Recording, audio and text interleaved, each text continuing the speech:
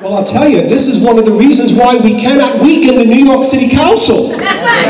Because all of us on here on this stage tonight are saying that the council has to be a strong body. We just can't have oversight over city agencies. We have to maintain oversight over some agencies that don't think that they owe us an explanation because they owe us an explanation.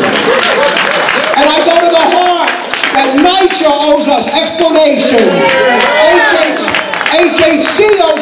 Explanations, and EDC owes us explanations.